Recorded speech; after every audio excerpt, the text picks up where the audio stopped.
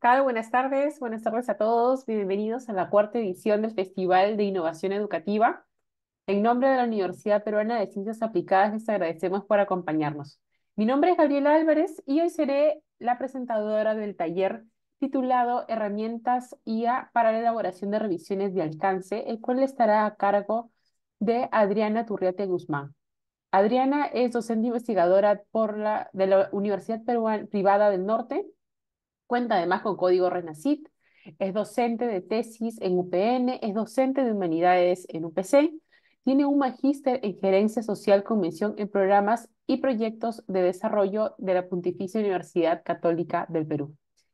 Indicarles que al finalizar el taller van a poder encontrar eh, el, el chat. En el chat pueden dejar sus preguntas y Adriana, para que Adriana las pueda ir respondiendo. Y asimismo, cuando terminemos el taller, pueden completar la encuesta ingresando la misma ponencia desde la web o la app del FIE. Recuerden que todas las ponencias les han podido compartir con el hashtag FIE 2024 y los invitamos a seguirnos en nuestras redes sociales como Innovación Educativa.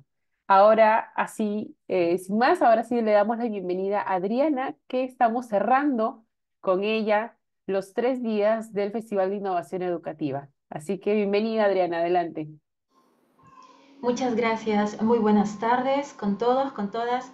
Bienvenidos a esta actividad. Para mí es un placer poder compartir con ustedes el resultado de las actividades, de las tareas que hemos estado realizando con los estudiantes para que puedan mejorar la redacción, puedan encontrar información, puedan disminuir en algunos puntos los tiempos que a veces toma la búsqueda de fuentes académicas.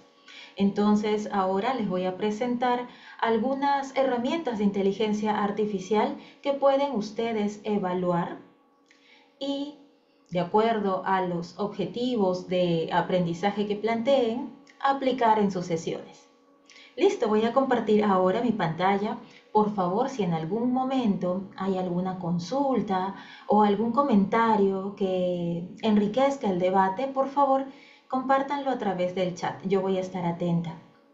Voy a compartir mi pantalla en estos momentos para que ustedes puedan ver todo el material. Listo, muy bien. Entonces, pasamos por aquí a revisar algunas herramientas.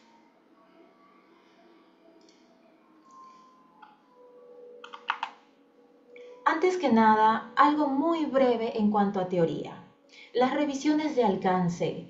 Eh, ¿En qué momento se hacen? ¿Qué es exactamente lo que representa una revisión de alcance?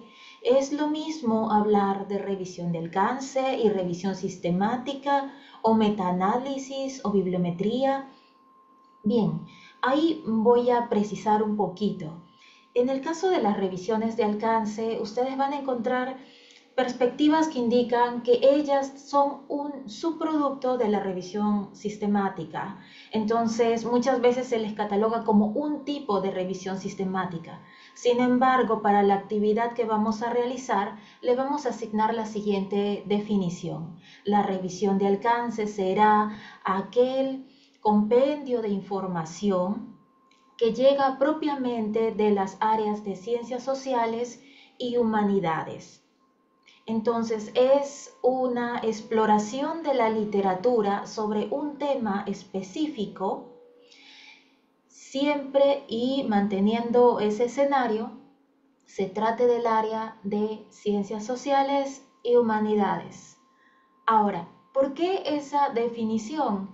Bien, esa definición la propone en uno de sus artículos el doctor Luis Codina. Eh, lo van a encontrar en la bibliografía de la PPT más adelante. Y concuerdo bastante con lo que él propone porque existe mucha literatura al respecto sobre el gran aporte que realizan a las investigaciones las revisiones sistemáticas. Y también se muestra el abanico de revisiones que existen, entre las cuales las más conocidas son la revisión narrativa, la revisión de alcance, la revisión sistemática y de hecho hay muchas más. Pero el debate se situó cuando eh, se, se hizo muy marcada la, la presencia de las ciencias de la salud y las ingenierías en las revisiones sistemáticas. De hecho, ellas son el origen de este tipo de, textos. Eh, cuando esto llegó, nosotros teníamos la, digamos, la intención también de adecuar los protocolos que ellos trabajan. Trabajan con el protocolo Prisma, seguramente también lo han escuchado, o a veces se siguen los lineamientos de Cochrane. Y es muy interesante seguir cada uno de esos pasos, pero había ciertas limitaciones que enfrentaban los profesionales de sociales y humanidades. En primer lugar, era el tiempo. Era muy distinto encontrar, por ejemplo, artículos en ciencias de la salud, donde la publicación es mucho más continua. En cambio, en sociales, uno podía encontrar un artículo que tenía Mm, o demoraba, por ejemplo, dos años para publicarse. E incluso habían temas que se abordaban con mayor tiempo en los libros y se mantenían en los libros y no llegaban a avanzar hacia los artículos. Entonces, eh, bueno, ahí también hay otro tipo de factores ¿no? que hacían que nuestras discusiones fueran más a través de libros. De hecho, muchos autores tienen grandes compendios, compendios de información. Eh, cuando llegó esta etapa en la que nosotros buscábamos papers, por ejemplo, con los estudiantes, ingresaban a buscar lenguaje audiovisual y encontraban bibliografía vinculada a libros pero era menor la presencia en artículos científicos. Esto les comento con relación al año 2020. Después de ello, fue ya hacia el 2021-22, aparecieron los primeros artículos que citaban en español ya estos libros y empezó a cambiar la tendencia. Incluso muchos autores conocidos que tenían ya décadas escribiendo en libros pasaron a elaborar papers. Entonces, cuando ya uno trabaja una revisión sistemática, pues lo primero que enfrenta es la cantidad. ¿Y cuánto es exactamente lo que debe tener para considerar que va a realizar una revisión sistemática? Hay personas que indican que debe ser más de 500, hay personas que indican que basta con responder la pregunta de investigación, que es acorde a los objetivos que haya planteado el investigador. Y así, la discusión sigue creciendo.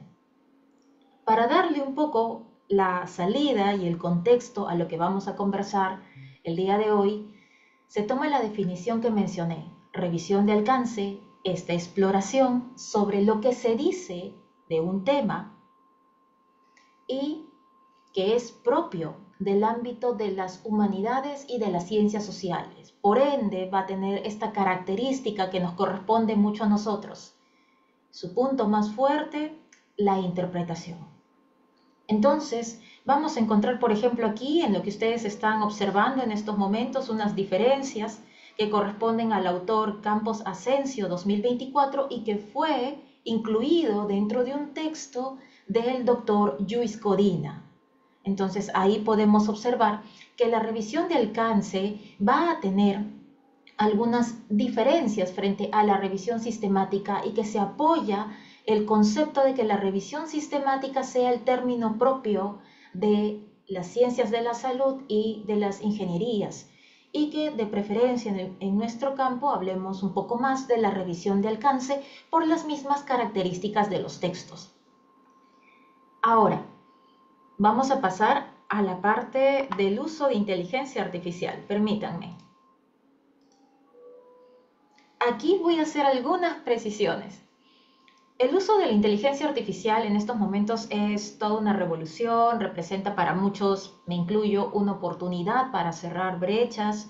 De hecho, creo que lo más eh, importante que hemos encontrado en el uso de las herramientas de inteligencia artificial con todos los estudiantes es que nos ha permitido cerrar estas, estos tiempos en los cuales había que revisar un texto, otro, y muchas veces en el ámbito de ciencias sociales, los textos no son breves. Pueden tener tranquilamente 30 páginas, 40 páginas, y ello, una lectura no es suficiente para comprender si va o no a aportar en tu material o en el texto que estés trabajando. Entonces uno tiene que muchas veces darle dos, tres, hasta cinco lecturas y después de ello reorganizar la información para que de esta manera puedas brindarle una secuencia a la narración. Es muy importante entonces considerar que la inteligencia artificial tiene beneficios, pero también tiene algunos riesgos. Y los riesgos son los que voy a comentar antes de pasar al uso de esta herramienta. En primer lugar, las herramientas de inteligencia artificial pueden escribir. Y sí, hay, ustedes pueden buscar en internet y van a encontrar una gran cantidad de prompts sugeridos, listas con ya textos armados para que ustedes los ingresen en diferentes plataformas.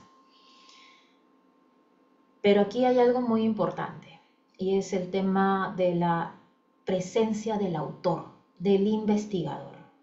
El investigador no puede desvincularse en ninguno de los procesos. El investigador debe estar siempre verificando que efectivamente la indicación que se le haya dado sea adecuada y sobre todo que la información que proporcione la plataforma sea verídica. Porque recordemos, la inteligencia artificial está programada para dar una respuesta. Entonces, si está programada para dar una respuesta, en caso no cuente con la información al respecto, buscará la manera, lo más cercano, tal vez alguna palabra similar, y entregará una respuesta. Pero eso somete a la persona que deja en sus manos el trabajo a la posibilidad de que exista un error. Y eso, como ustedes pueden observar aquí, sucedió. Entonces, las redes sociales son muy rápidas con respecto a estos eventos y lamentablemente, pues, no estamos exentos de, de que las redes sociales estén atentas a lo que publicamos. Ahora, cuando la inteligencia artificial trabaja por sí sola, por ejemplo aquí, yo le pedí que ella hiciera una breve reseña que incluyera autores sobre el estado de la investigación académica en el Perú. Y de inmediato lo hizo. Y me dijo, tú puedes buscar la información en Barreto et al. Puedes buscar en Gómez et al. En ese momento, quienes estamos a cargo de este tipo de materiales tenemos el deber de verificar si efectivamente dentro del texto se señala eso porque si no estaríamos cayendo en las alucinaciones de la inteligencia artificial. Por eso es muy importante que antes de pasar a la etapa práctica, ustedes conozcan un poquito acerca de la teoría y también tengan en cuenta cuáles son los riesgos que van a enfrentar con la inteligencia artificial. La inteligencia artificial es una herramienta que va a ser útil siempre y cuando se le utilice de forma adecuada, con bastante eh, en este caso teniendo muy claro el marco ético. No se le puede dejar en sus manos al 100% el desarrollo de un texto. Y como para adelantarles un poquito qué pasó cuando se verificó si realmente lo que decía estaba en los textos de Barreto y Gómez, pues 50% sí aparecía y el otro 50% no. Ahora, es importante también tener en cuenta, y esta es la última de las precisiones, que la inteligencia artificial puede armar sus propios parafraseos, puede armar su propia narración. Pero es realmente el autor quien debe estar involucrado en todo esto. La inteligencia artificial puede servir como lluvia de ideas, detonante creativo para esos momentos en los que nos preguntamos ¿y cómo debería empezar el libro? ¿Cómo debería empezar el artículo?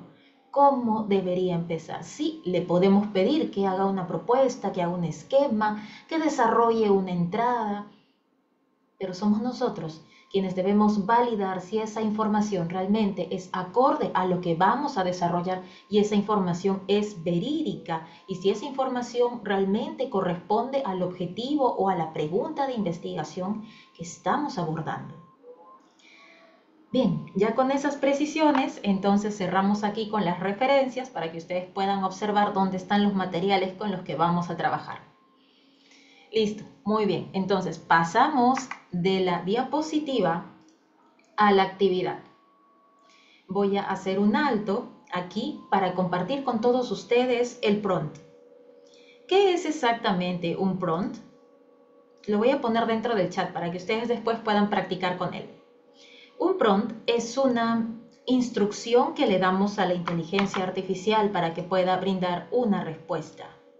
En este caso, lo que le vamos a pedir a la inteligencia artificial es que realice una búsqueda de artículos relacionados a la redacción o escritura de artículos académicos con inteligencia artificial. Justo, algo muy cercano a lo que estamos haciendo. Entonces, vamos a consignar ese prompt. Ahora, ese prompt que acabo de compartir es una adaptación del material que se proporciona a través de la Biblioteca Nacional, que también figuraba en las referencias.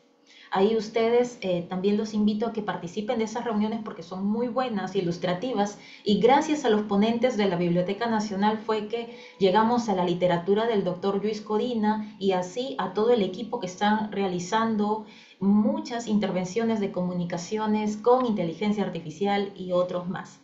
Al final de la charla les proporcionaré otros enlaces adicionales para que puedan complementar, puedan complementar su lectura.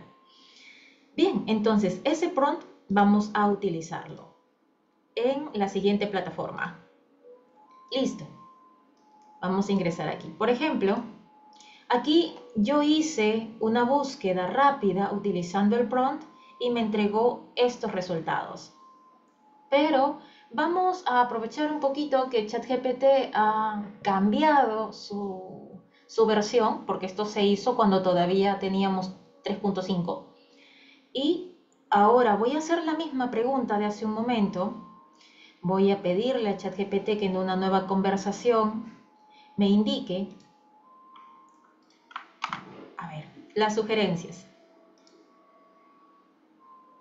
Ya está. Vamos a ver qué nos dice. Excelente, ya está. Son nuevas sugerencias. Voy a pedirle también a ChatGPT, ah, disculpen, voy a pedirle también a ChatGPT, a ver, que valide la información.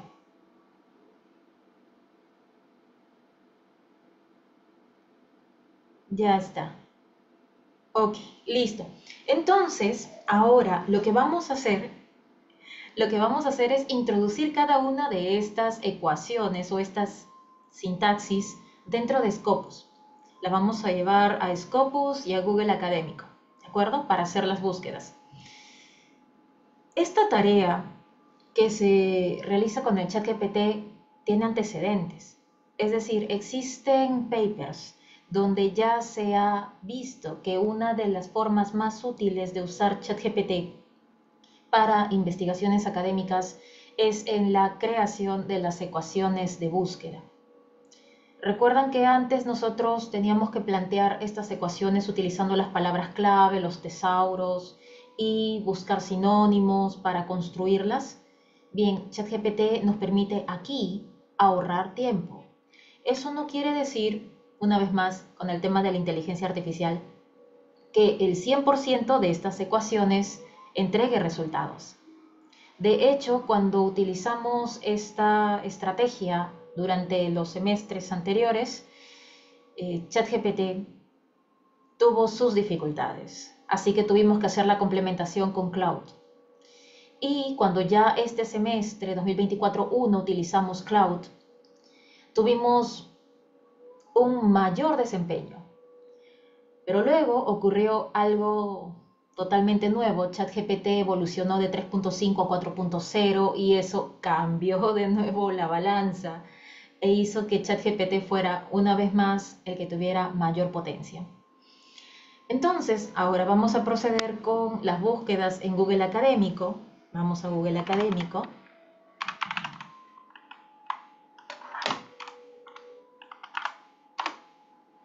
Y procedemos a pegar una de las ecuaciones. Vamos a llevarnos la primera.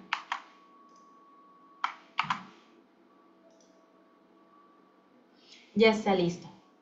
Entonces, ahora nosotros aquí podemos revisar la información y ver con cuál de los materiales podemos empezar a trabajar nuestra revisión de alcance.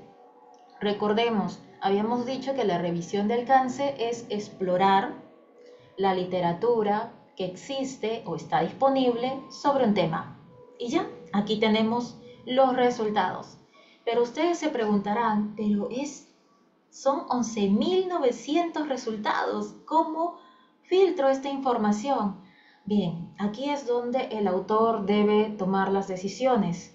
Si estamos hablando de inteligencia artificial, efectivamente, ¿cuándo es que podemos empezar a recolectar la información? ¿Cuándo es que ChatGPT es lanzado al mercado? ¿Y en qué momento empieza a ser visto como una herramienta para la redacción académica? Ahora, dentro de la redacción académica existen también diferencias. ¿Qué tipo de documento exactamente deseas encontrar? Es necesario entonces que aquí sea el autor quien tome la decisión, que proyecte cuál es la finalidad de esta exploración. ¿Qué necesita encontrar? ¿Qué brecha desea evidenciar? Probablemente está interesado en encontrar sesgos. ¿Y por qué razón la palabra sesgo? Eh, lo que ocurre es que eh, cuando uno utiliza la inteligencia artificial se va dando cuenta de que la inteligencia artificial puede tener complicaciones porque hace traducciones automáticas. Entonces, si mucha información está en inglés, ¿cómo hace ChatGPT para responder en español? ¿En qué momento la traducción puede convertirse en un sesgo? Entonces, encontró esta brecha de conocimiento el autor y dijo, quiero escribir sobre sesgos en la redacción académica que se genera utilizando inteligencia artificial. Vamos a ver qué dicen los autores al respecto y qué metodologías han aplicado para poder escribir usando inteligencia artificial. Esta no sería la única búsqueda, de hecho ustedes van a ver aquí en la izquierda que hay una serie de filtros que pueden activar, pero para algunos probablemente la cantidad de filtros aún sea muy poca. Y probablemente debido a eso es que algunos digan, no, Google Académico no. ¿Qué te parece si usamos Scopus? Muy bien, vamos a Scopus entonces. Aquí está Scopus. Pero Scopus es de acceso libre. Eh, yo puedo ingresar a Scopus, no necesito una licencia. Eh, bien, Scopus es un servicio que está abierto a toda la comunidad académica que está vinculada al CTI Vitae. ¿Qué es el CTI Vitae? El CTI Vitae es un registro de Concitec. Entonces, cuando usted como docente, como estudiante, como parte de la comunidad académica, decida abrir su perfil en CTI Vitae de Concitec aquí. A usted le permitirán tener una cuenta para acceder a Scopus y de esa manera ir vinculándose con cómo se gestiona la información académica. No es necesario que la persona tenga ya publicaciones eh, puede abrir su perfil y empezar a generar su carrera colocando sus datos, el lugar donde estudia, eh, sus líneas o los intereses en investigación que tiene. Y después de ello, como ustedes podrán ver aquí, que es la biblioteca virtual de Concitec, ustedes van a encontrar qué permisos pueden pueden tener cuando son CTI Vitae o cuando son Renacit. Los Renacits ya son las personas que tienen una cantidad de publicaciones. Entonces, digamos que tenemos aquí nuestro Scopus vinculado al CTI Vitae. Yo voy a ingresar y vamos a agregar la misma ecuación que nos entregó ChatGPT. ¿De acuerdo? Vamos a tomar la misma ecuación y la vamos a llevar a esta sección donde dice búsqueda avanzada. Vamos a ingresar a búsqueda avanzada y aquí vamos a compartir la ecuación y le damos clic. Y miren, observen lo que acaba de pasar. Sí, efectivamente estos detalles son una, una de las complicaciones, una de las de los sesgos o de los potenciales riesgos que tiene la inteligencia artificial. ¿Y ahora qué hacemos? Bueno, regresamos aquí y vamos por la siguiente. Y sí, así es como vamos a ir probando cuál es la opción más adecuada. ¿Vieron que con Google Académico la primera no tuvo inconvenientes? Ya, pero la primera con Scopus sí. ¿A qué se debe esto? Mm, bueno, una vez más, el tema del idioma, la traducción automática, puede haber afectado algo dentro de la sintaxis. O a lo mejor fue porque le faltaba esto. Ahora revisamos y le completamos lo que le faltaba. Le faltaba un pequeño paréntesis y busquemos de nuevo a ver qué pasa. Ah, ya, ok, el error era ese. Pero les repito, sí puede haber complicaciones. Y no solamente porque al momento de copiar y cortar podamos tener, o copiar y pegar, podamos tener algún carácter que se ha perdido, sino también porque a veces activamos involuntariamente esta pestaña. Observen por favor la parte superior de la derecha, la que permite cambiar el idioma.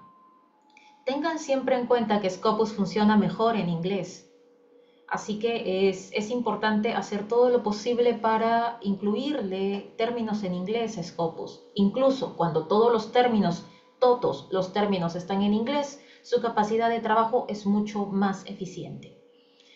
Ahora bien, voy a cambiar, de todos modos voy a cambiar la sintaxis y voy a utilizar, ya vamos a quitar esta sintaxis, voy a utilizar otra, esta de acá, y veamos qué ocurre. Esta vez está completa. Listo. Entonces, veamos qué nos dice eh, Scopus. Ahí está. Este es otro de los resultados que podemos encontrar. Si yo tengo, gracias a ChatGPT, una gran combinación de palabras ahora y términos, eh, ¿por qué no encuentro más textos?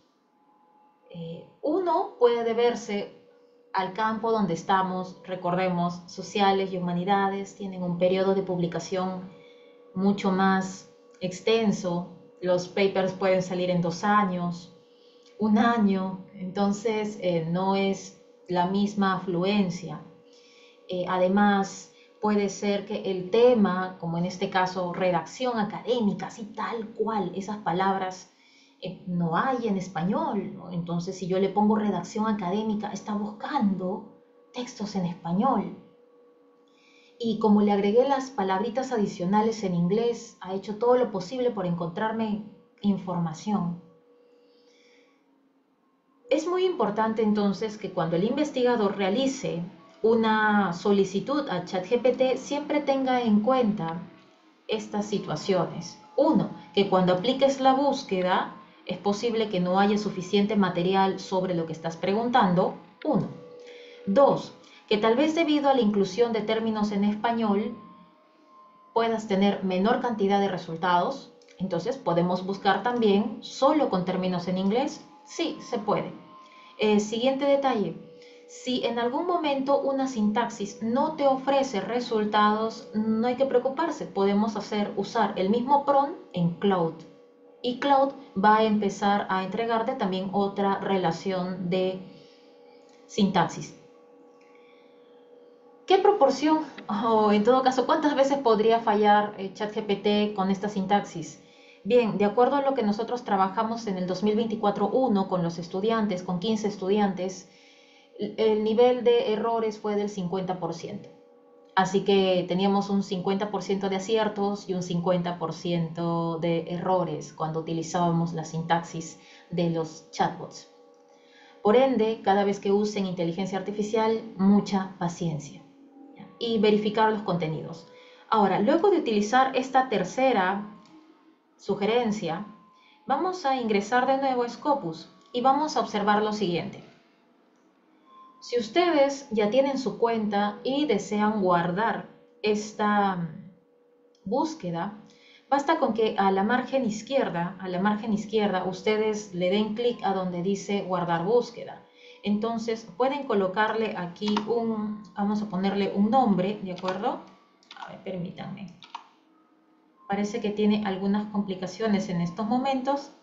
Voy a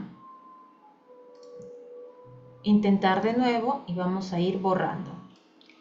A ver. Listo.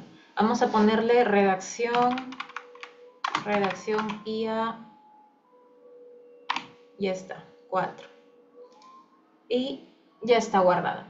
¿Por qué razón guardamos las búsquedas? porque es posible que tengan la suerte, y eso también puede pasar, con la inteligencia artificial hay muchas probabilidades, de que ustedes encuentren respuestas en, todos los, en todas las sintaxis, que les den diferentes artículos. Entonces van guardando la información para verificarla después.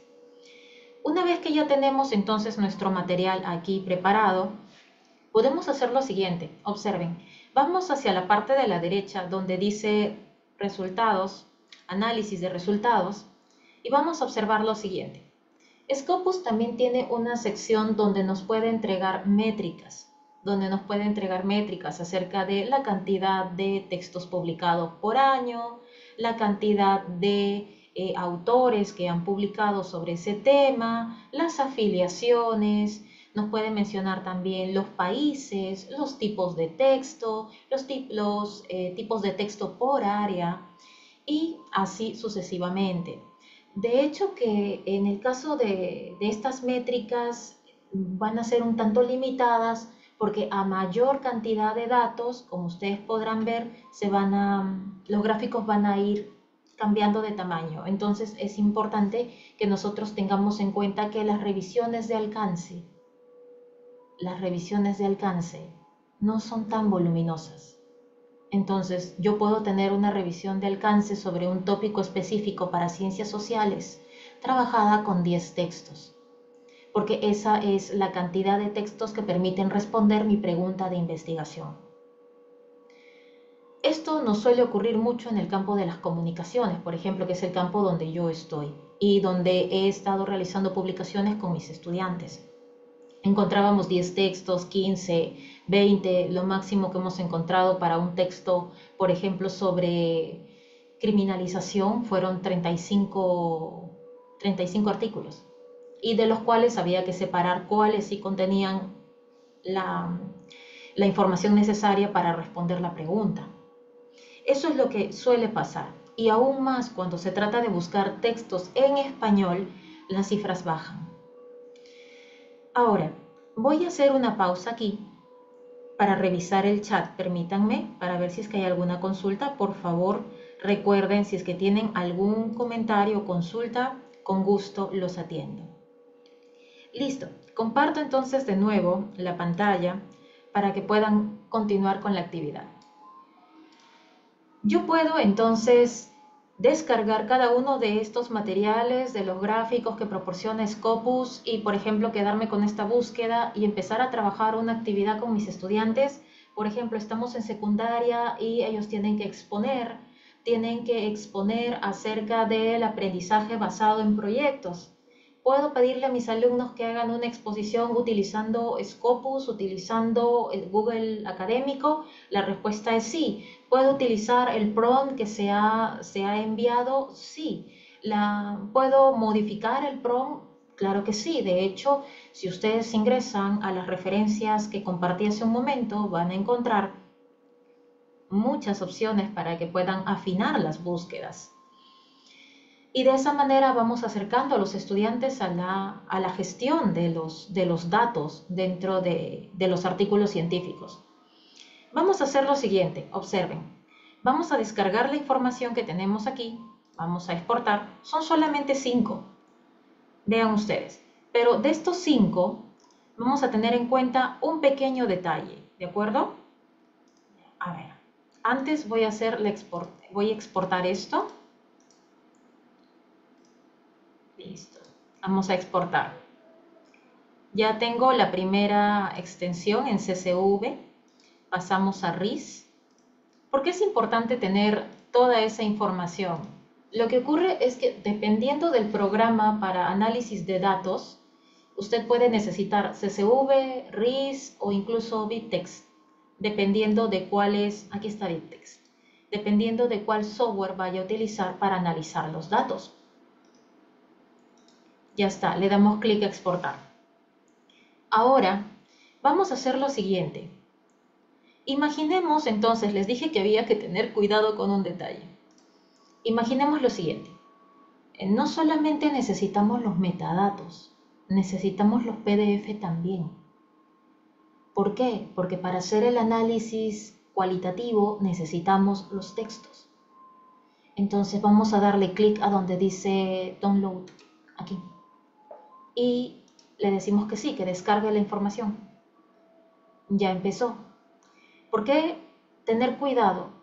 Porque a veces la información no baja completa. ¿Qué significa eso?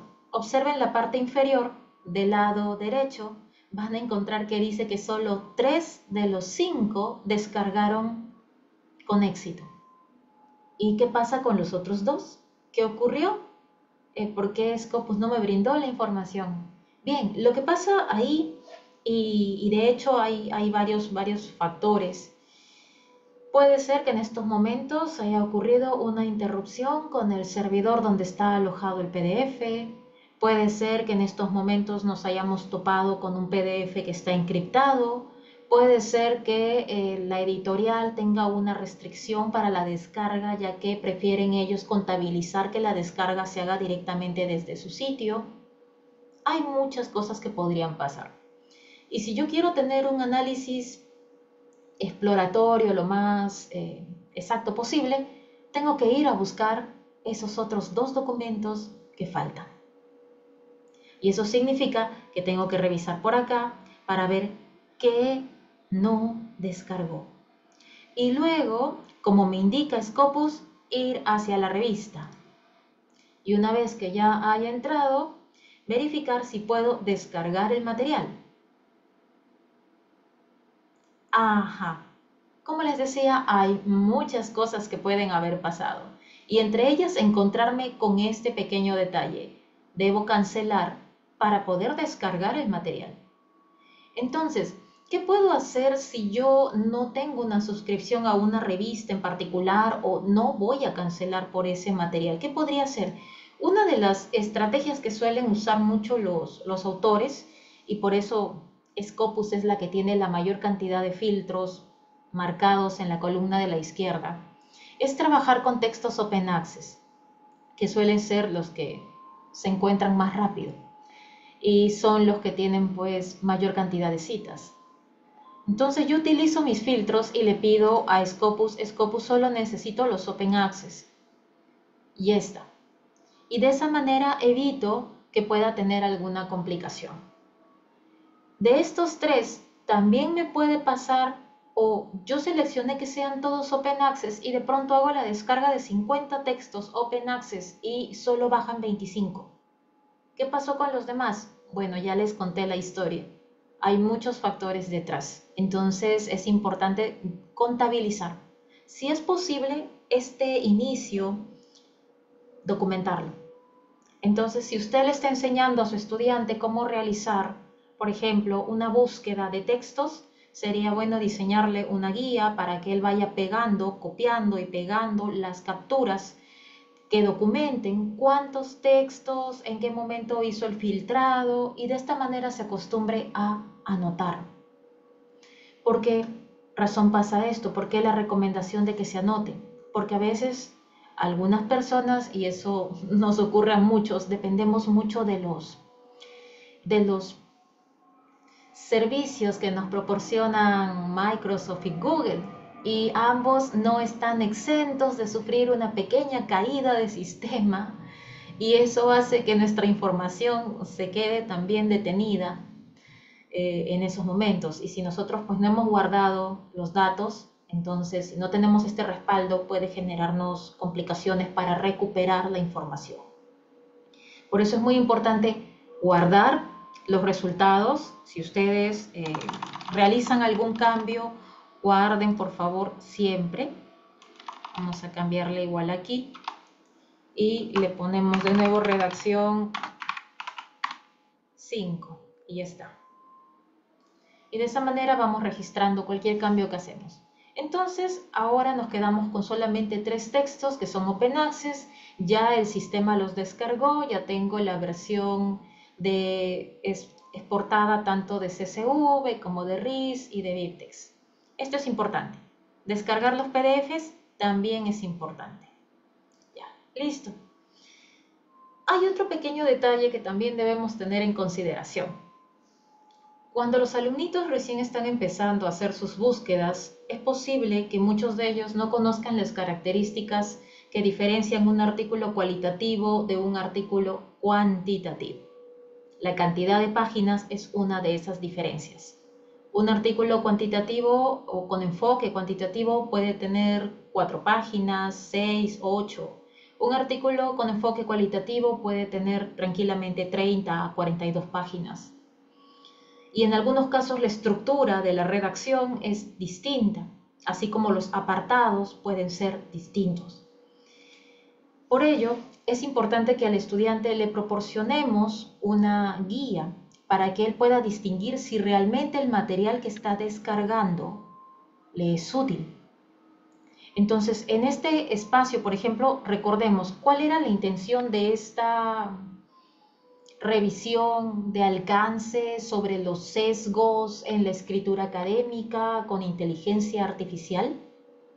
Pues precisamente que los textos que yo voy a descargar me sirvan para argumentar las metodologías aplicadas, las poblaciones con las que se ha trabajado, las vicisitudes que se enfrentó. Pero ¿alguno de estos textos aquí presente responderá a ese objetivo? Entonces yo comienzo a revisar y si me doy cuenta, por ejemplo, de que el idioma es una limitante, puedo simplemente colocar aquí y esperar unos segundos a que la traducción automática de Google aparezca y luego verificar. Eh, mencionan que hay una tesis para programa de pregrado que utiliza estrategias de aprendizaje, conducta investigadora responsable, educación universitaria 4.0.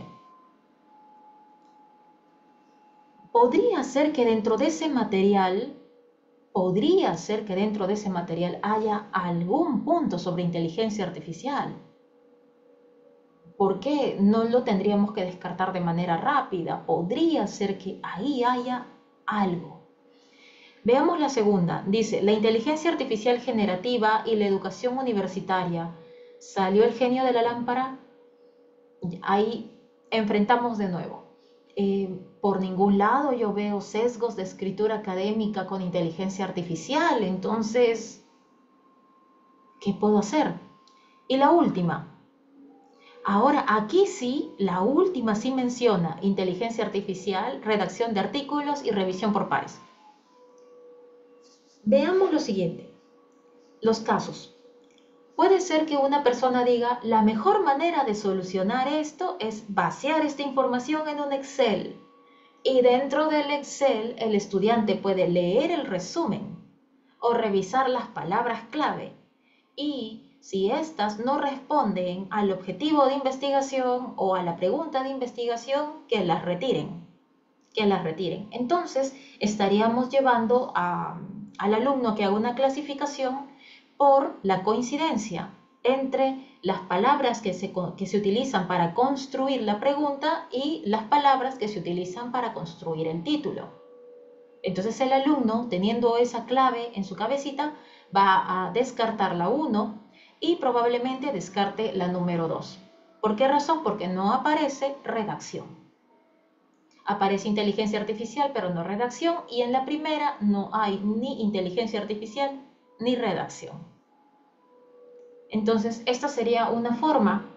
La otra forma, que podría ser, digamos, un poquito más eh, para que el alumno aprenda sobre la marcha, o como dicen algunos, aprender haciendo, sería invitar al estudiante a que descargue los textos, tal como lo hemos hecho.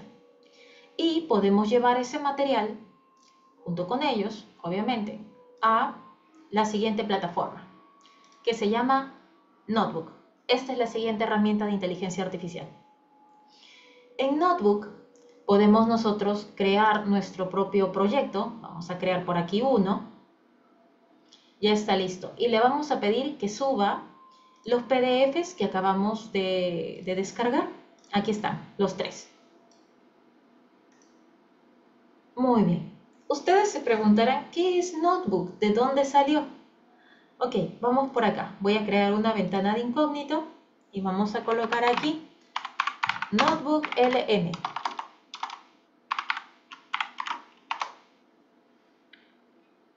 Y de inmediato me va a pedir que ingrese con mi cuenta de Google.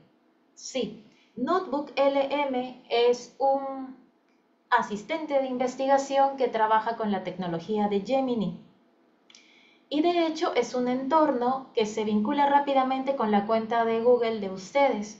Para que Notebook esté en español, tengan en cuenta por favor siempre que el idioma, el idioma de su cuenta de trabajo o de Google que estén utilizando, figure español como prioridad. ¿De acuerdo? Esa parte la ven ustedes en configuración de cuenta y ahí le cambian a español para que de esa manera el servicio de Notebook siempre aparezca en español. ¿Recuerdan ustedes que de los textos aquí vistos hay uno que está en español y los otros dos tienen otros idiomas?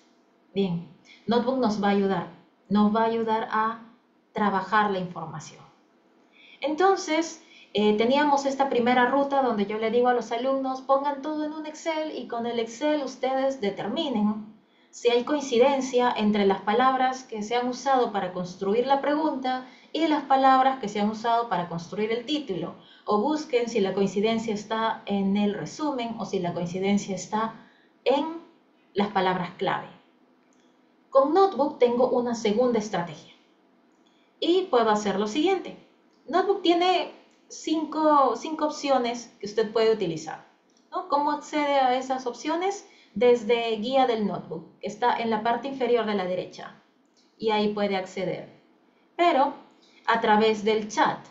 Usted puede resolver rápidamente esa pregunta de si hay o no hay información sobre escritura académica. Preguntémosle entonces ahora Notebook. A ver, ¿qué dicen los textos sobre escritura académica usando o le ponemos así, que usa inteligencia artificial. Inteligencia artificial. Ya está. Y le preguntamos directamente a Notebook. Notebook lo que va a hacer es tomar las, los PDFs que se han ingresado y va a través de un barrido de información va a detectar si alguno de los textos menciona en algún momento redacción académica o menciona inteligencia artificial y nos entregará la información. Entonces, por aquí nos menciona que existe información sobre el uso de la escritura académica. Y en el texto 1 menciona, en el texto 1, en el texto 2, a ver, revisemos por acá, enfatizan el auge de la inteligencia artificial en la escritura académica, especialmente las herramientas de inteligencia artificial como ChatGPT. Se reconoce el rápido crecimiento de estas herramientas y su impacto en las actividades de enseñanza y aprendizaje. Notebook nos permite hacer un análisis rápido de la información a través de estos barridos y también nos indica a través de los números que tiene la plataforma ¿Dónde podemos encontrar los datos? ¿De dónde se extrajo la información? Por aquí, por ejemplo, menciona el artículo 3. Vamos a seguir observando. Aquí aparece el, el segundo artículo. Y por acá nos dice, los autores del artículo 1 argumentan el estudio 3. Por aquí hay otras indicaciones más de en qué partes se extrajo la información. Este es Notebook. Ahora, obviamente, no es una invitación a que, ah, ya, qué buen resumen hizo Notebook. Ahora cortamos la información, copiamos la información y la llevamos al proyecto o la incluimos en nuestro texto. Eh, no es esa la invitación. Porque cuando uno quiere estar muy involucrado dentro de la redacción o la preparación de un artículo, si va a desarrollar una, un texto, pues tiene que crear un esquema de trabajo. Entonces, esto también ayuda a que el docente pueda monitorear si realmente los estudiantes están construyendo el texto utilizando de forma adecuada las herramientas de inteligencia artificial redactar su propio esquema ayudará a que usted le pueda dar seguimiento para ver si es que están o no utilizando la información de manera adecuada y construyendo una narración. Ahora veamos. En el caso de Notebook, en el caso de Notebook, entonces nos ha garantizado que la información que nosotros hemos recopilado, esta de acá, sí habla acerca de la inteligencia artificial. Si es así, entonces ya podemos empezar a diseñar las estrategias para ver cuántos textos podrá mantener Notebook dentro de su plataforma. En estos momentos es totalmente gratuita Notebook. Es, bueno, por el momento está, está en fase de experimentación de forma personal yo les puedo decir que logré subir 50 papers, papers, no tesis, no libros, solamente papers. Y que las principales funciones que yo le he dado, por ejemplo, es crear mi esquema, creo mi esquema y luego le hago preguntas. Entonces, recordemos, hace un momento yo pude haber descartado dos de estos tres textos porque no tenían las palabras clave o no tenían exactamente esta relación directa con lo que yo estaba buscando. Pude descartarlos. Sin embargo, propio de las características del ámbito de las ciencias sociales, a veces los títulos para nosotros representan una oportunidad para englobar, englobar, sintetizar la esencia del texto, algunos nos gusta colocarle algún término adicional como para que suene mucho más, para que se aprecie más de forma más estética. Entonces eh, es posible que eso también pueda generar ciertos, ciertos riesgos, ya que si ese texto no tiene en sí la palabra exacta, puede ser descartado y ese texto puede contener información que sí responde mi pregunta de investigación. Entonces, una alternativa adicional para hacer esas revisiones es Notebook. Y lo bueno de Notebook es que tiene los números que permiten verificar de dónde salió la información.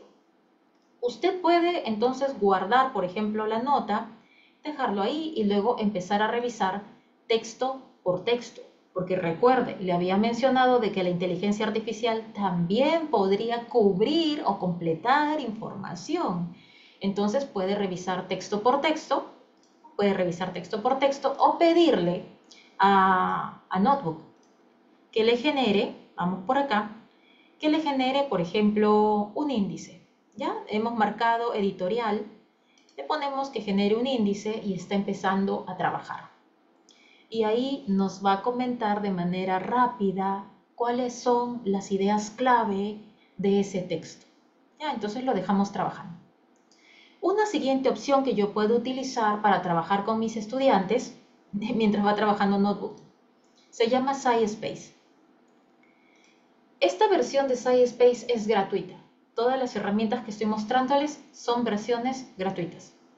En SciSpace va a encontrar usted en la columna de la izquierda muchas opciones para poder navegar, practicar eh, sin embargo, de todas ellas, la que considero más eh, adecuada, idónea para el trabajo que se realiza, es decir, la revisión de alcance, es utilizar la librería.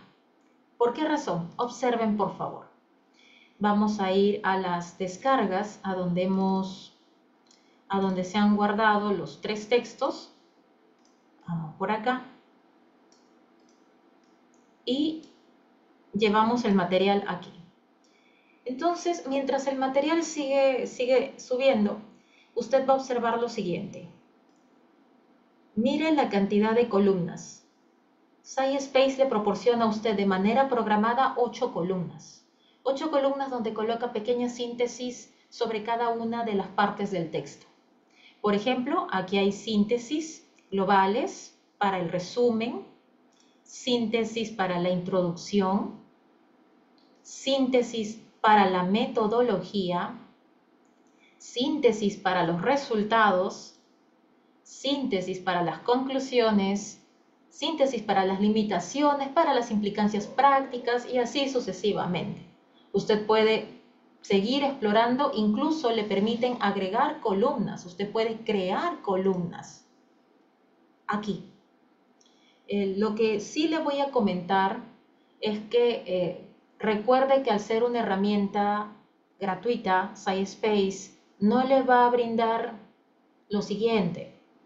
Eh, cuando usted quiera exportar, exportar la información, digamos que usted hizo una búsqueda dentro del mismo SciSpace, porque SciSpace tiene la posibilidad de hacer búsquedas, no le va a permitir descargar los archivos RIS, CSV, no le va a permitir, porque eso es parte del paquete de pago. Ahora, SciSpace, como toda herramienta de inteligencia artificial, le entrega los números para que usted valide la información. ¿Por qué razón? Porque a veces cuando la persona compra o utiliza, digamos, el espacio máximo de SciSpace, usted puede agregarle 100 PDFs también si considera, cuando utiliza el espacio máximo, SciSpace puede empezar a repetir la información. ¿Qué significa eso? Que, por ejemplo, las implicancias prácticas de este texto, que ustedes ven aquí, aparezcan en el segundo texto. Por eso es muy importante que usted verifique la información. Toda herramienta, toda herramienta puede tener oportunidades de mejora y es ahí donde nosotros ingresamos para validar la información. No es copiar y pegar, sino validarla no solamente puede pasar eso, sino que recuerde, las herramientas de inteligencia artificial trabajan con traducciones automáticas. Eso significa que mucha de la información que va a encontrar aquí puede tener un contexto diferente en su idioma original. Entonces también es importante verificar eso. Si es posible, utilice otras herramientas de traducción. Si es que SciSpace le permite a usted traducir más de 20 idiomas. Entonces, lo simpático de SciSpace es que tiene esa posibilidad. Además, tiene su propia biblioteca de papers. Por ende, eh, es bastante completa, es una herramienta bastante completa. Y si a usted le llama la atención alguna de ellas, por ejemplo, como esta de aquí, usted le da un clic y lo va a enviar con Copilot, que es su asistente de conversación. Por ejemplo, las características que tiene es que usted puede marcar la información que necesita resumir o donde necesita una explicación y a través de preguntas en la casilla inferior de la derecha va a poder encontrar eh, una respuesta a ello. Voy a colocar aquí, por ejemplo, cuáles son las conclusiones del texto de esta manera. Y de inmediato Copilot empieza a trabajar. Cuando se tiene, cuando se tiene la versión pagada, cuando se tiene la versión pagada, no solamente hace eso, sino que le permite a usted, ya le permite tomar un gráfico, tomar un gráfico o una tabla, le permite hacer esto. Y le explica la información. Pero cuando se tiene la versión pagada, cuando usted tiene la versión gratuita, la explicación que le va a dar es bastante general. Entonces, ¿qué pasaría si yo, por ejemplo, quiero reemplazar esto? Me interesa el gráfico de estos tres campos, me interesa y quiero una interpretación mucho más exacta. ¿Qué otra herramienta podría utilizar si SciSpace en la versión gratuita no me permite o no me entrega esa información? Eh, bueno, una alternativa es ChatPDF. También existe literatura al respecto donde mencionan que Chat, ChatPDF permite avanzar mucho con los, eh, con los resúmenes, con los gráficos. Bueno, al respecto, lo que yo les puedo sugerir es que siempre tengan en cuenta, ¿no? Siempre tengan en cuenta que no es la, la idea no es copiar y pegar, sino que siempre trabajamos en un marco ético hay que tener cuidado porque si yo utilizo esa información, permítanme un segundo, aquí está el texto. Sí, este es.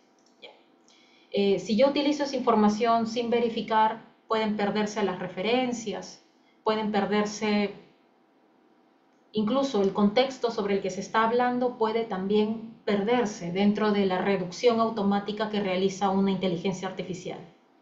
Listo, entonces ya tenemos aquí en chat PDF el mismo texto, le hacemos la misma pregunta, cuáles son, cuáles son las conclusiones del texto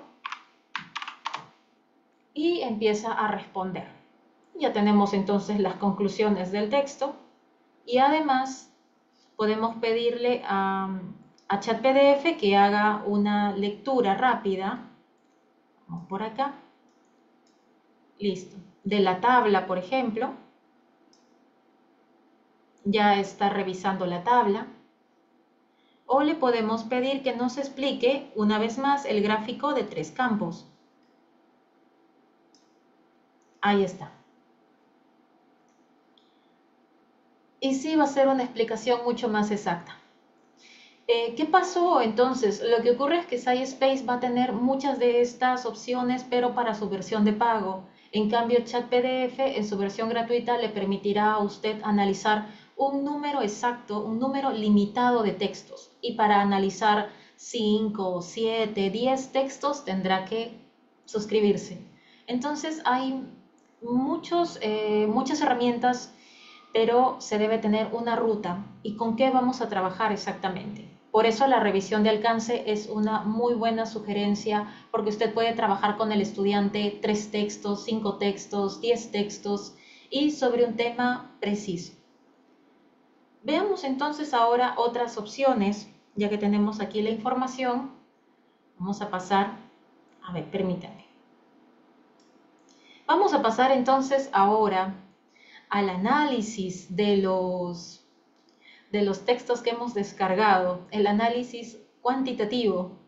¿Cómo, ¿Qué herramientas podemos utilizar para ello? Hay una herramienta muy interesante que se suele, se suele utilizar para saber la procedencia del artículo, la cantidad de años entre cada artículo, etc. Se llama Bibliometrics. Para ingresar a Bibliometrics hay diferentes tutoriales. Aquí sí les voy a mencionar eso. Yo les voy a compartir un tutorial que me ayudó a programarlo en mi computadora, eh, pero no voy a desarrollar el paso a paso porque el tiempo no lo va a permitir. Y es muy importante que ustedes vean todas las herramientas para que después ustedes como expertos puedan desarrollar su propia propuesta, porque todo lo que ustedes están viendo a continuación son herramientas que ya hemos estado utilizando con algunos estudiantes. Tienen puntos positivos y puntos oportunidades de mejora como todas las tecnologías. En Bibliometrics avanzamos así. Le vamos a dar un clic aquí, correr y listo. Para eso, para tener Bibliometrics dentro de su computador, usted tiene que descargar RStudio y el software R y va a poder acceder a lo siguiente. Vamos a esperar ahí un ratito, ya mientras va cargando, y le digo algunos, algunos tips sobre esta plataforma. En primer lugar, Bibliometrics tiene versión gratuita y también tiene su versión de pago. Eh, como toda herramienta puede tener algunos, algunas oportunidades de mejora en las cuales usted necesita paciencia. ¿Por qué razón? Porque trabaja con metadatos y teniendo en cuenta que los metadatos no siempre están completos, es posible que en algún momento la herramienta pueda ponerse lenta o incluso cerrarse. Sí, y cuando se cierra, se pierde todo el trabajo que usted ha hecho. Entonces le pido por favor que siempre tenga paciencia con, esta, con el sistema. Pero si en todo caso eso va a suceder, ¿por qué no, por qué no compramos mejor la versión de pago? Eh, bueno, si usted compra la versión de pago eh, y sumamos más o menos todas las herramientas de inteligencia artificial que hemos usado, son cerca de 100 dólares por mes. Y realmente si queremos entrar en un proceso educativo con nuestros estudiantes, eh, no es necesario por ahora llevar a ese costo a nuestros presupuestos, llevar ese costo a nuestros presupuestos. Por el momento podemos trabajar con las versiones gratuitas. Lo único que necesitamos es monitorear los procesos, guardar respaldos, verificar la información y tener paciencia. Entonces, eh, veamos cómo funciona Bibliometrics. Miren, subimos la información desde aquí, vamos a dar un clic, vamos a utilizar, a ver, por acá, y en estos momentos no tenemos un archivo XLSX o formato R. No tenemos esto. Entonces vamos al siguiente, este de acá. Ah, sí, claro, descargamos una copia de Scopus, ¿se acuerda? De Scopus bajamos tres tipos de archivos de Scopus. Entonces, eso es lo que vamos a traer aquí. Vamos por nuestros archivitos, que ya están acá. Scopus VIP, Scopus CSV. Vamos a llevarle el Scopus CSV. Ya está listo. Y ahora le decimos adelante. Y observen, aquí les va a dar un pequeño reporte acerca de los metadatos. ¿Qué son los metadatos? Son los que acompañan cada uno de los textos donde se indica la procedencia, el año, la afiliación. Hay todo un gran trabajo en la parte editorial. Y así como hay un gran trabajo, también hay una gran cantidad de desafíos. Parte de ello, pues, se puede mostrar aquí, por ejemplo, en algunos casos hay datos que se pueden perder, hay datos que van a cargar de manera excelente y el programa va a poder trabajar muy bien, hay datos que van a llegar de manera intermedia o aceptable y otros, como ven en la parte inferior, que van a tener dificultades. Y eso puede impactar en el programa, más aún si tenemos un programa que tiene versiones experimentales, versiones gratuitas o que puedan tener alguna, digamos, necesidad de tener 100% en todo, como en estos casos, pueden ponerse un poquito más lentos. Entonces vamos a ver qué pasa con nuestros documentos. ¿Qué podemos encontrar en Scopus? Perdón, ¿qué podemos encontrar en Bibliometrics con esta data que sacamos de Scopus? En primer lugar, exploremos un poquito. Por aquí podemos sacar los datos completos de los materiales con los que estamos trabajando. Por ejemplo, aquí ustedes pueden ver de qué año a qué año se publicaron los textos. Podemos buscar la producción por año tanto en diagrama como en figura, eh, perdón, en tabla, tanto en, tanto en la figura como en la tabla. Podría sugerir incluso que miren un ratito, por favor, a la derecha. Si ustedes dan un clic, ya descargó la imagen. Entonces, al momento de ingresar este material en su paper, va a salir con una muy buena calidad. Y claro, la fuente es siempre Bibliometrics. Podemos seguir revisando, por ejemplo, las citas eh, por año. Aquí está la tabla. Eh, yo sé que ustedes me dirán, pero ¿por qué mejor no utilizamos, si es inestable, ¿por qué no utilizamos VozBeaver? Eh, de hecho, sí se puede, sí se puede. Si en estos momentos descargamos la herramienta VozBeaver, también podría analizarse y mostrarnos el gráfico de concurrencias, mostrarnos, por ejemplo, los autores, mostrarnos las palabras clave, pero lo que ocurre con Bibliometrics es que es una herramienta que va a tener mayor cantidad de gráficos si lo comparamos con VozBeaver. La cantidad de gráficos que se puede llegar a obtener en Bibliometrics supera los 30. Y esto va a depender mucho también del tipo de estudio que usted esté realizando. Para una revisión de alcance se podría trabajar tranquilamente con Bibliometrics y con VozBeaver o quedarse solo con VozBeaver. Pero si usted va a avanzar a otros niveles, por ejemplo, trabajar en revisiones sistemáticas o trabajar bibliometría, esta es la herramienta con la que usted debe familiarizarse. ¿Hay otras opciones en el mercado? ¿Hay otras opciones o software libre que se esté trabajando? La respuesta es sí. Pero Bibliometrics es la más conocida. Veamos entonces el gráfico de tres campos. Y genial, miren qué bonito lo, ha generado. Ahora, este es un escenario atípico, obviamente porque se trata solo de cinco textos. Usualmente cuando usted ingresa más de 100 textos, más de 100 textos que vienen con sus metadatos, ya, cuando usted pone esos 100 metadatos dentro de Bibliometrics, es donde puede pasar lo que le comenté. ¿ya? Y esto ya nos ocurrió a nosotros con el equipo que estábamos trabajando en las revisiones. Se subieron 130, se subieron 180, 250 en algunos casos, y fue en este espacio donde empezamos a tener las dificultades. Bibliometrics se congelaba o se cerraba. Y como el procedimiento para recargar los datos no es tan difícil, entonces se hacía una y otra vez, una y otra vez, para poder completar la cantidad de gráficos que estábamos utilizando.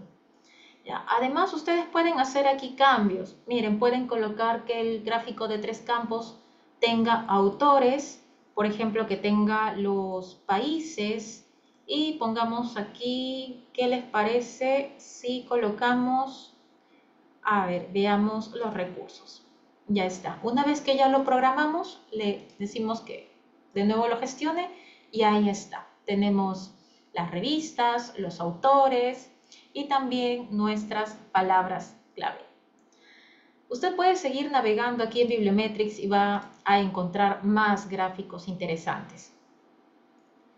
Una vez más, todo esto depende de los objetivos, de la pregunta de investigación que usted haya planteado. Y, a modo de cierre le voy comentando lo siguiente. Siempre, siempre, siempre tenga la costumbre o, siempre tenga en cuenta que todos aquellos que estamos en el ámbito académico tenemos la disponibilidad de colaborar. Pregunte, siempre pregunte. Eh, estos gráficos, por ejemplo, pueden verse muy sencillos, pero a veces las interpretaciones pueden ir más allá de lo que se está observando y pueda necesitar usted un colega con una experiencia mayor en revisiones sistemáticas o puede necesitar un colega que haya hecho en algún momento bibliometría o puede necesitar un colega que haya visto artículos empíricos. Siempre pregunte, porque no hay mejor forma de, de crear buenos textos que buscando otras opiniones. Entonces, en esta sesión, el día de hoy, yo he querido compartir con ustedes las herramientas que se suelen utilizar dentro de las clases que trabajo en el curso Taller de Tesis 1 y Taller de Tesis 2. De hecho, las herramientas las voy a mencionar de manera muy rápida, las que hemos visto han sido Bibliometrics, hemos utilizado también el día de hoy, hemos visto un poquito acerca de chat PDF, hemos visto un poquito de SciSpace, hemos visto un poco de Notebook, que, es la que está ayudando. Y miren, aquí ya terminó, terminó Notebook de hacer el estudio. Yo le había pedido que haga un, una síntesis, una tabla de contenidos de este texto, y sí lo ha hecho. Entonces, anímese a incluir las herramientas de inteligencia artificial. Recuerde que las herramientas son variadas tienen puntos positivos, tienen oportunidades de mejora. Planifique, consulte siempre con los colegas, porque ayudar a los estudiantes a ingresar a este mundo va a permitirles conocer qué riesgos se enfrentan. La inteligencia artificial es muy poderosa, pero si no se utiliza de forma adecuada puede terminar generando textos que en vez de informar, desinformen. Bien, eso sería conmigo hasta el día de hoy. Voy a proceder a compartir con ustedes las, las referencias que les comenté para que puedan ustedes complementar su lectura. Permítanme por favor unos minutitos para compartirles los enlaces para que puedan leer un poquito acerca de este concepto que desarrollé sobre Luis, sobre Luis Corina. Ahí les envío el enlace de revisiones de alcance para que también puedan conocer un poquito acerca de los potenciales de, de ChatGPT, porque ahora no solamente es saber manejar las inteligencias artificiales, sino crear tu propio chatbot. Y ya hay algunas experimentaciones con algunos colegas. Ahí les estoy compartiendo algunos, algunos enlaces. También les comparto literatura específica sobre bibliometría. Hay un muy buen texto con dos docentes que son muy experimentados en ese campo. Eh, les comparto también el tutorial que les dije para que puedan descargar Bibliometrics, que es súper sencillísimo, e instalar Bibliometrics. Y les comparto, a modo de cierre, el marco ético sugerido para trabajar con inteligencia artificial los trabajos académicos. Listo, si hubiera alguna consulta, encantada de responder. Muchísimas gracias. Muchísimas gracias a ti, Adriana, por tan interesante taller. He anotado todo, estuve también haciendo mis pruebas eh, y gracias, gracias por, por justamente esta parte es una de las que más cuesta cuando uno investiga, formar las estrategias de búsqueda, qué palabras claves usar. Eso cuesta muchísimo al inicio hasta que uno ya va agarrando el camino pero qué mejor que utilizar estas herramientas de inteligencia artificial para que te ayuden y te den como ese empujón para ya despegar en la investigación. Gracias por los links también que nos has brindado. Lo sé, ya, ya los he puesto como favoritos, ahorita lo- lo- los he eh, ya guardado en mi navegador. Así que te agradecemos mucho por tu taller. No sé si alguno tuviera alguna pregunta para hacerle a Adriana, aprovechando los, eh, todo lo compartido el día de hoy. Ahí les esperamos. Recuerden completar la encuesta también al finalizar el taller. Pueden ir nuevamente a la página de la, del CIE y completar la encuesta. Maritza pregunta si eh, dentro de las estrategias de búsqueda se podría hacer lo mismo en buscadores tipo EBSCO y PubMed. Genial, excelente. Muchas gracias por la consulta. Claro que sí, vamos a hacer la prueba ahora. Permítame, por favor. Sí, Muchas que gracias por los comentarios. Gracias. Voy a hacer ahora la gestión con EBSCO, porque aquí también tengo mi usuario. Permítanme un segundito, voy preparando la plataforma. Ahora comparto. Ya está, listo. Compartimos entonces. Ahí está, ya estamos en EBSCO. Voy a seleccionar todo, compartir y vamos a aquí. Vamos a pedirle a nuestro a ChatGPT, vamos a llevarnos la ecuación hacia EBSCO. Listo. Y le ponemos buscar. Aquí. No se obtuvieron resultados para su búsqueda inicial, sin embargo se encontraron resultados basados en las palabras clave. Ok, eh, en algunos casos vamos a, a, tener en cuenta lo siguiente. Scopus trabaja full con la sintaxis. Scopus hace eso. También lo hace Science Direct. Pero en el caso de EBSCO tiene la siguiente particularidad. Vamos a regresar un ratito.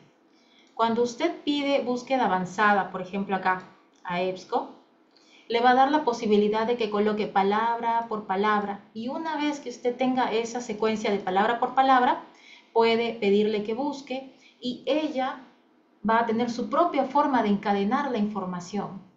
Entonces yo quisiera mostrarles ahora mismo a ustedes, no, sí se puede hacer como en Scopus, pero no he encontrado esa función, por ejemplo, en cuanto a EBSCO.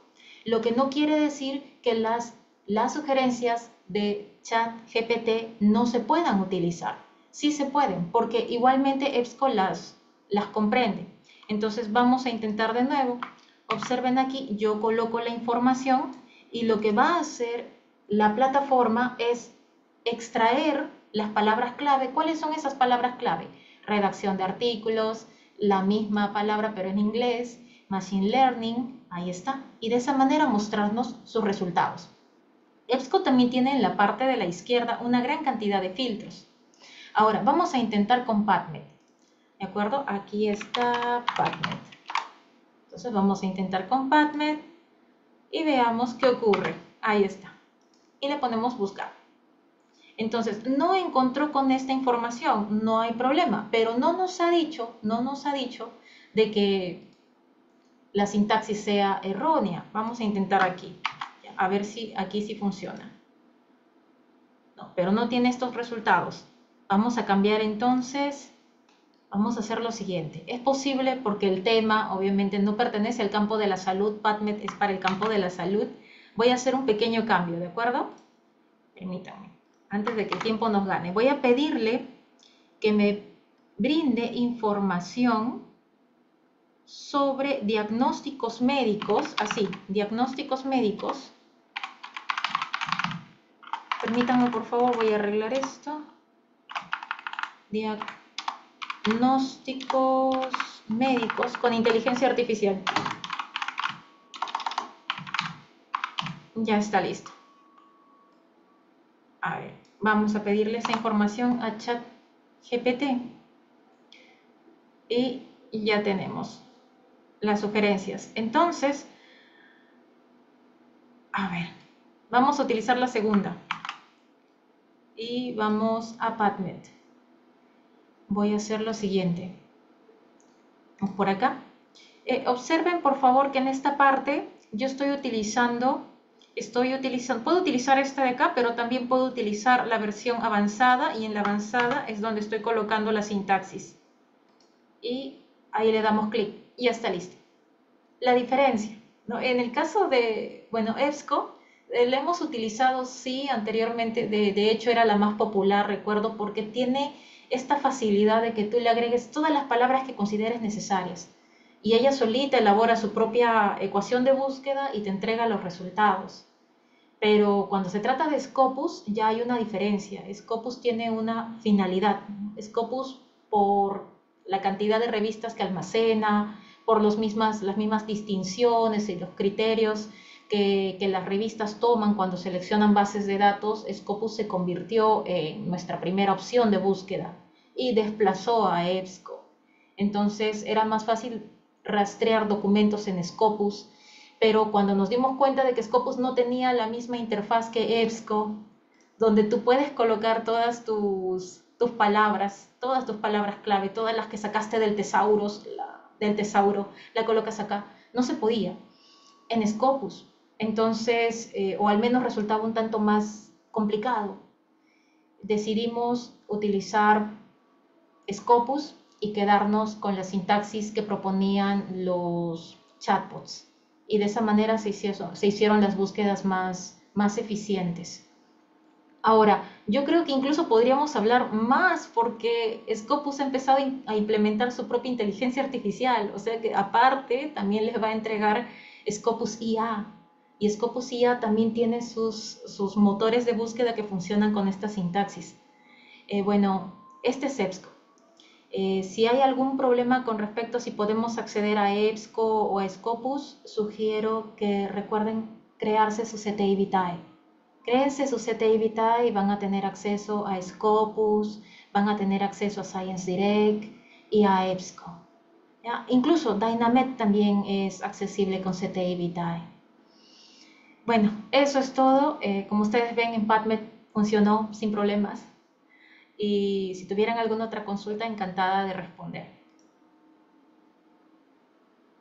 Muchas gracias, Adriana, por el taller. Ha sido muy claro y a detalle. Así que he mostrado a detalle cómo usar cada una de las herramientas de IA para que tengamos también más facilidad cuando nos toque hacerlo a nosotros. Eh, por ahí te mandan felicitaciones. Muchas gracias por tus por compartir tus conocimientos, súper explicado, te agradecen.